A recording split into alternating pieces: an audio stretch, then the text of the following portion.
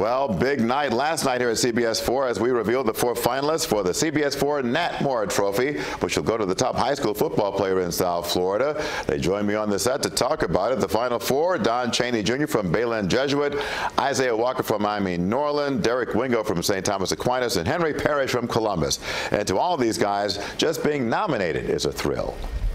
Being nominated for this award means a lot. It kind of uh, recognizes yourself as one of the top athletes, and to be one of those is honestly a blessing. So, um, after being recognized as one of those, you just have to know that you just have to keep reaching higher and reach reach for higher goals. This is very big for me. Just coming from how I started from ninth grade kid, that was just not can do push-ups and stuff like that. So just big for me.